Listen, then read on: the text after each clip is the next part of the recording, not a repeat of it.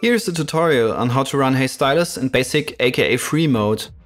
When Hej Stylus is asking you for a license, just hit run in basic mode. Now you can use Hej Stylus basic feature position pull for free. All the other features will be grayed out and available when entering a full license key. To activate position pull, click on the function's name to activate it. Choose a smoothing range with the maximum radius option and choose a value with a slider. To make the magic happen, click on Active Inactive to activate. Now we're all set. In order to prevent Hej Stylus asking for a license on every startup, open Hej Stylus Preferences and check Run in Basic Mode. Want to enter a license?